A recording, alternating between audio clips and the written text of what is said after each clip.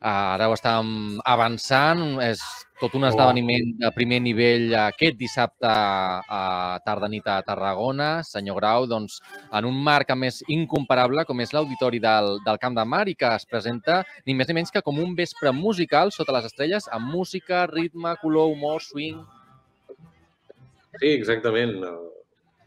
Eh, casualitats de la vida és el, és el debut de, de l'orquestra al Camp de Mar, després de 16 anys de trajectòria eh, lligat a les comarques tarragonines, però és el primer concert de l'orquestra al Camp de Mar, així que ens fa molta il·lusió. I per, aquesta, per aquest debut hem triat un repertori eh, molt estiuenc, per una banda, amb aquestes melodies americanes tan conegudes, i per altra banda amb un solista amic i molt conegut per tots com és Albert Guinovart per eh, tocar la part de solista del Rhapsody in Blue de Gershwin. No? Per tant, tindrem Bernstein i Gershwin, que són dos dels grans compositors americans.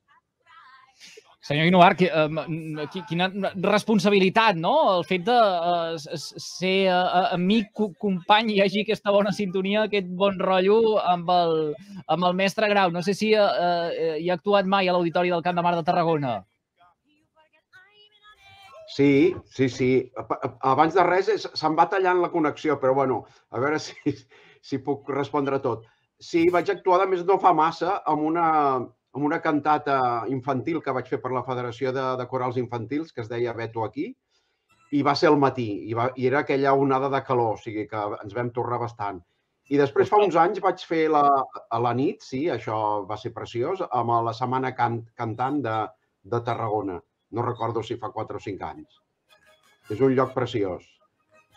Mm -hmm. Doncs ficava sota les estrelles, com deia, com deia uh, l'Adrià uh, Requesens. Uh, per cert, tinc la sensació uh, que és una d'aquelles propostes, al final, que volen uh, captar l'atenció d'un públic familiar, de, de tot tipus de públic, senyor Grau. Sí, aquest, la idea del repertori era quelcom que fos eh, atractiu per un dissabte a la nit, per, per un festival d'estiu. Òbviament que el públic melòmen pugui trobar música de molta qualitat a la qual coneix i se sent identificat, però que també poguéssim arribar a tot tipus de públic. No? L'orquestra fa 10 anys, la Franxuber Filharmonia fa 10 anys que té temporada de concerts al Teatre Tarragona i eh, hem fet, eh, a part dels concerts clàssics, que podríem dir, hem fet també música de pel·lícules, hem fet concerts familiars, hem fet eh, concerts de cinema, no només de pel·lícules, sinó de música, de bandes sonores especials, i, i hem intentat atraure tot un, un nou tipus de públic cap a la música clàssica, cap a la música sinfònica. No? I aquest és un pas més. És a dir, uh, West Side Story, com sabeu, originalment era un musical de Broadway, després va tenir una adaptació, una primera adaptació cinematogràfica, que va tenir molt èxit, que és el que coneixem tots, i ara fa poc Spielberg en va fer una segona adaptació cinematogràfica. I, per tant, qui més qui menys coneix aquestes melodies i les té molt, molt, molt interioritzades. No? Per altra banda, Rhapsody in Blue és, és una, una de les peces mítiques per piano. No? I, per tant, el que, el que pretenem és, amb música molt bona, difícil de tocar, difícil d'interpretar i que on la gent podrà veure una orquestra sinfònica de gairebé 80 músics doncs, en, en plenitud, amb la màxima expressió, doncs, poder arribar al màxim de públic possible i, i sobretot, que ho gaudeixin. Mm.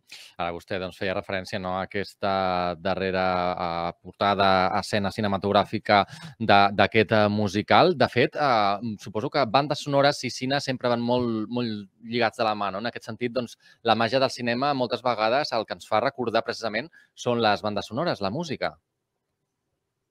Sí, és cert. Jo crec que el cinema, la, la música al final acaba sent un personatge més, no? Aquelles escenes que tots coneixem amb una altra música potser no funcionarien o no funcionarien igual.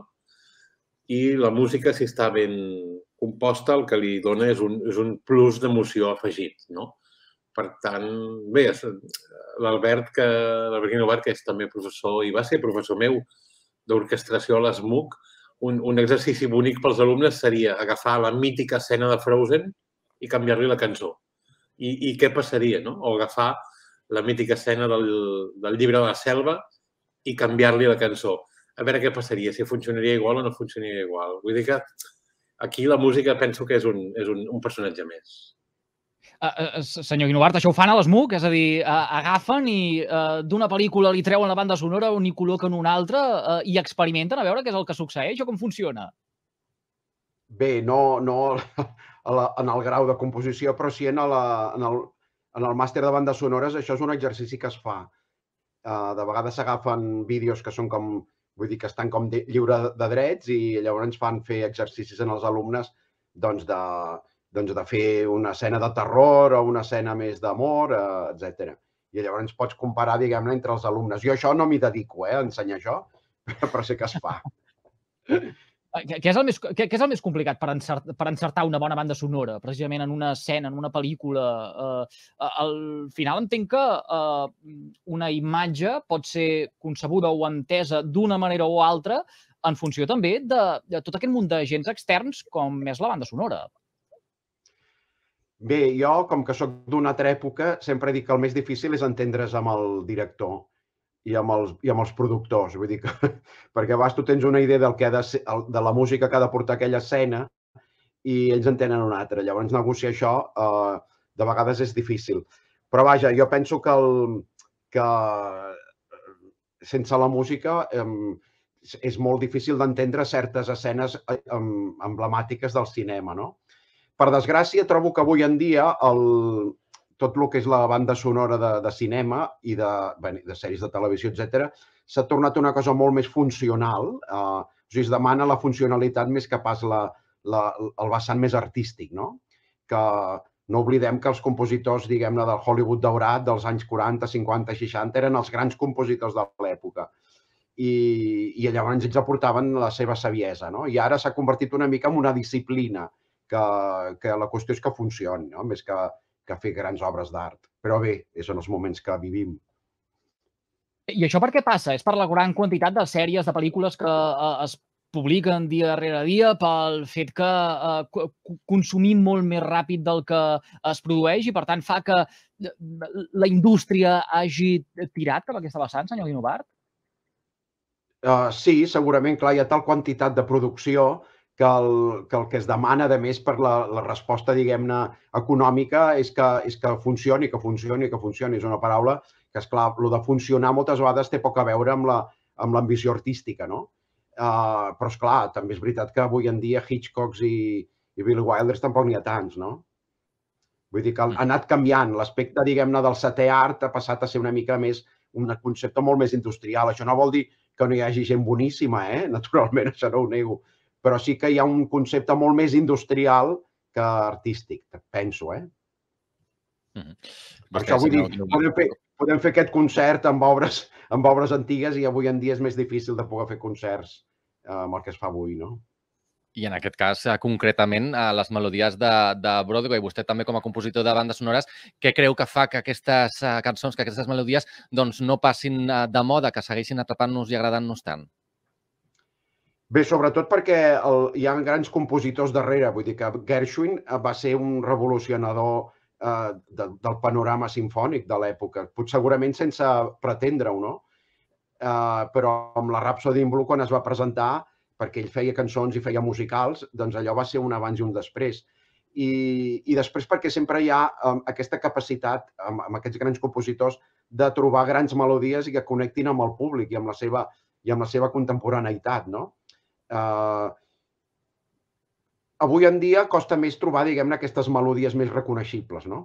De tota manera, aquest, aquests, aquests uh, grans mestres americans, a més, estaven construint un estil, no?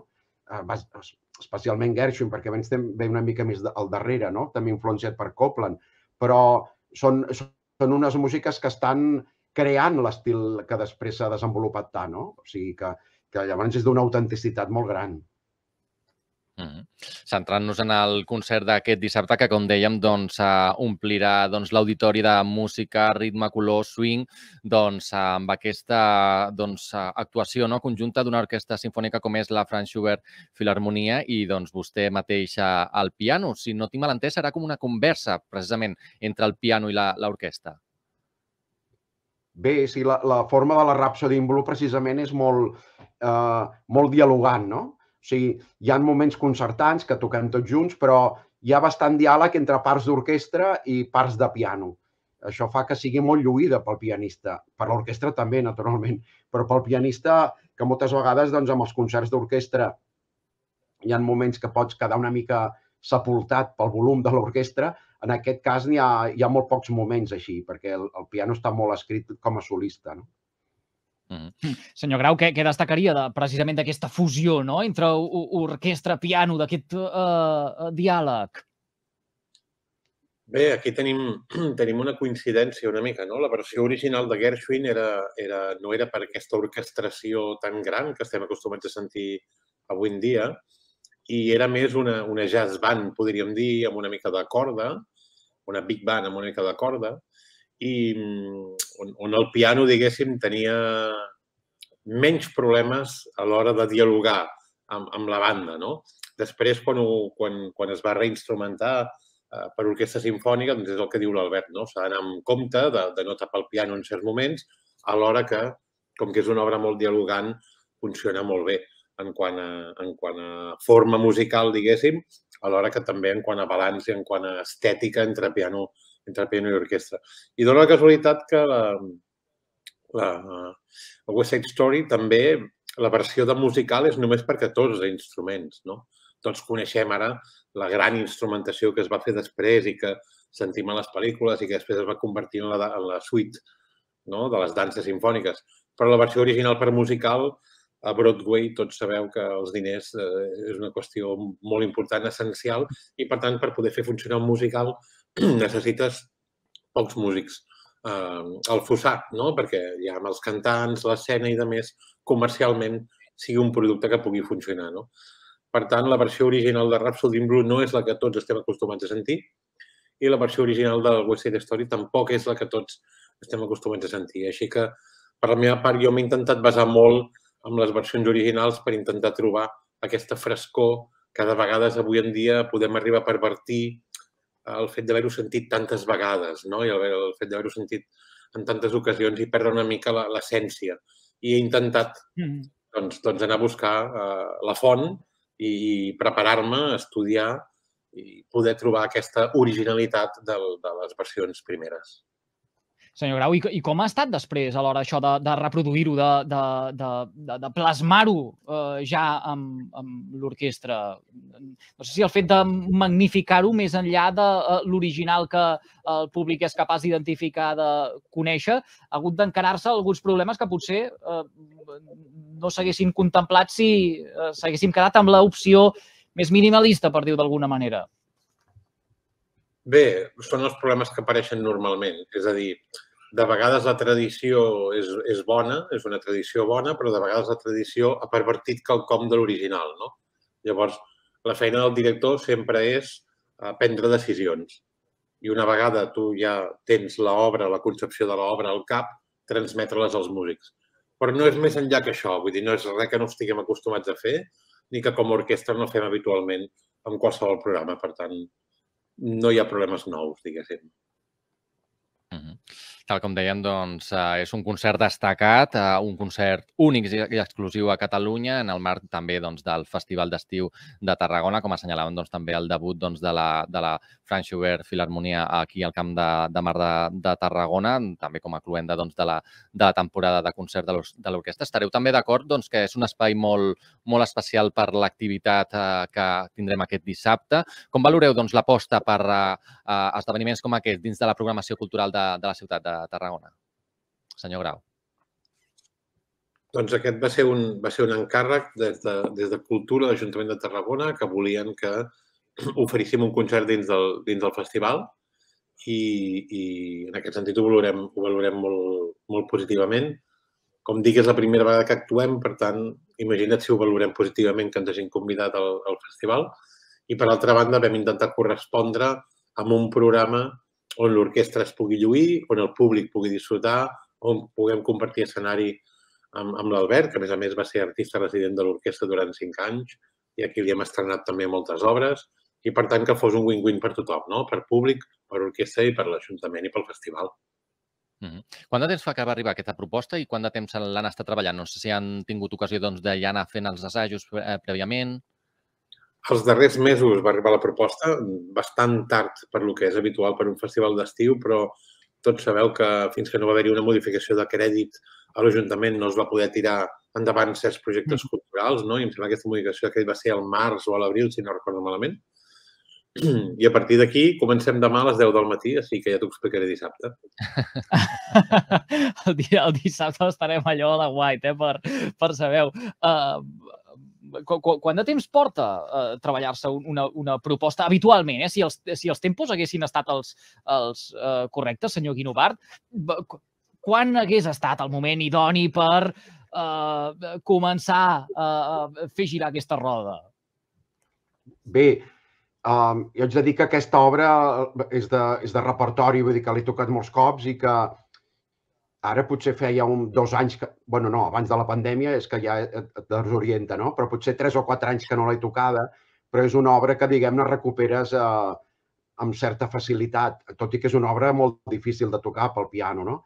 Però, però esclar, els solistes, diguem-ne, estudiem per, nosaltres per la nostra banda, a casa nostra, i llavors ens trobem doncs, amb l'orquestra que ells també s'ho preparen, potser no tanta antelació, i demà és quan és aquest, aquest dia màgic que ens trobem per primer cop i, i llavors tot allò es construeix no? durant els assajos. Però van, el, el solista, vull dir, ho porta estudiat ja de casa, eh? Sí, sí. Ah, I, i què, és, què és el més especial? Si és que, eh, mm, eh, eh, entenc que sí, eh? però, però vaja, això, vostès que, que, que s'hi dediquen. El més especial de la primera vegada, o, o, o, o, o no, senyor Quinopart? La, la primera vegada eh, és la sí. que s'ha de parar i tornar a començar, i parar i tornar a començar, i parar i tornar a començar. A mi el primer contacte amb una orquestra, amb qualsevol orquestra, no? però aquesta que, que ja hi tinc molts amics i després de tants anys de treballar-hi, doncs el, el que em dona molta... em fa moltíssima il·lusió i em dona molta felicitat aquest primer moment de que, que, que sents l'orquestra sencera, perquè, és clar tu estudies les, la part del solista sol, no? I llavors el primer cop, tot i que ja l'he tocat més cops, eh? però vull dir que el primer cop que sents una altra vegada eh, això és un moment molt màgic, la veritat. Eh, L'estar integrat dins d'una orquestra, sobretot per un pianista que no tenim el costum, diguem-ne, de tocar amb orquestra, sinó ets com a solista, és, un, és una satisfacció que és molt difícil de descriure. Està envoltat de, de músics i d'aquestes ondes sonores que, que t'esgarrifen, no? Mm. En el bon sentit. Uh, no, ens, no, ens no ens podrem allargar gaire més, hem de marxar a publicitat. En tot cas, uh, molt ràpid, uh, senyor Grau, no sé si té constància de com va la venda d'entrades de cara a aquest dissabte. A veure, és, és el concert que va millor de tot el festival, però encara queden moltes entrades. Per tant, animem a la gent a que vingui i que ens acompanyi. La guixeta del Camp de Mar està oberta dues hores abans de l'inici del concert i, si no, online, per suposat, poden trobar les seves entrades, així que animem a, to a tothom a acompanyar-nos com ha de ser. No ho deixem eh, per últim moment, que mm, estem molt mal acostumats a fer això, sempre, eh? les entrades per última hora i després ens quedem amb un pam de nas quan veiem que una proposta tan atractiva com aquesta acaba omplint i nosaltres ens quedem a les portes per accedir. Tomàs Grau, Albert Novart, un plaer, moltíssimes gràcies per acceptar la invitació del carrer Major de les Ràdios de la xarxa al Camp de Tarragona. Que vagi molt bé dissabte. Gràcies. Gràcies a vosaltres. Avui, la música protagonista també d'aquest espai, a més a més amb propostes més que atractives que passen pel nostre territori, amb aquest West Side Story en Rhapsody in Blue, amb l'orquestra Franz Schubert Filharmonia i també amb el pianista i compositor Albert Guinovart, protagonista d'aquest carrer major en aquesta recta final del segon tram de programa. Entrevista que, per cert, tots vostès que tenen sintonitzada la seva emissora de proximitat poden recuperar des del servei de ràdio a la carta